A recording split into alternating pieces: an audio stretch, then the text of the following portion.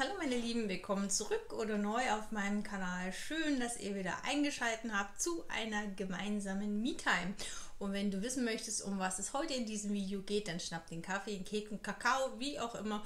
Und nach einem kurzen Intro sehen wir uns gleich wieder. I was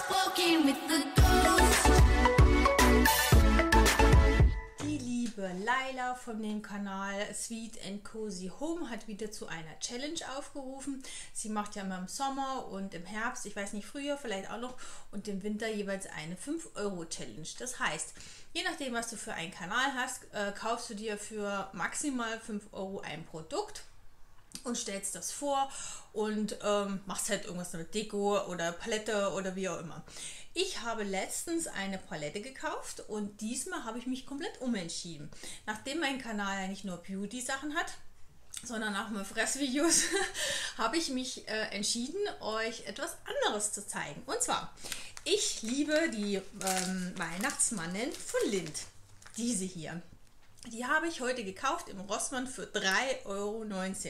Das Problem bei diesem Mannen ist einfach, dass die sehr gut schmecken, sehr viel Kalorien haben und immer ähm, zu wenig sind.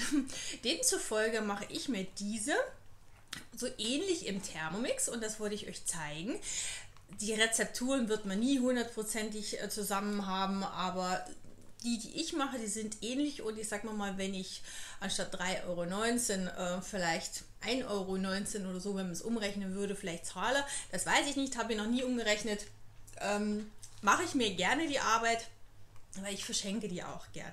Das heißt, ich habe mir das als äh, 5-Euro-Challenge gekauft und zeige euch jetzt in diesem Video, also im Anschluss, wie ich sozusagen meine Wannetsmanne, meine Weihnachtsmanne mache und ich wünsche dir auf jeden Fall viel Spaß. Bin gespannt, was die anderen, äh, die bei dieser Challenge mitmachen, was die so alle machen. Die liebe Laila bzw. ihren Kanal verlinke ich unten. Und wie gesagt, wenn du neu bei mir auf meinem Kanal bist, dann würde ich mich über ein Abo freuen. Und schreibt mir doch gerne mal, was ihr so für Weihnachtsgebäck macht oder Weihnachtsplätzchen, Weihnachtskekse, wie auch immer. Und ich wünsche dir, wie gesagt, viel Spaß bei dem Video und bis zum nächsten Mal, eure Hecke.